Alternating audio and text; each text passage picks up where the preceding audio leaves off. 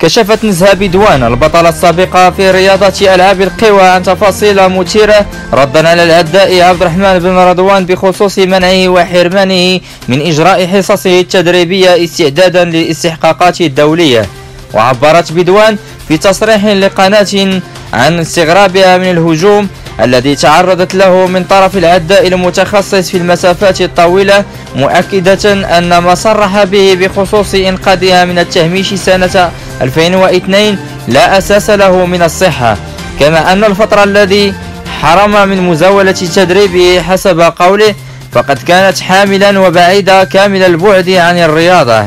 وتابعت قائلة جوابي عن الفيديو المتعلق بمحاربة العداء بن رضوان هو أنه كنت حاملا في الوقت الذي قال أنني حرمته من خوض تداربه بداخل الملاعب.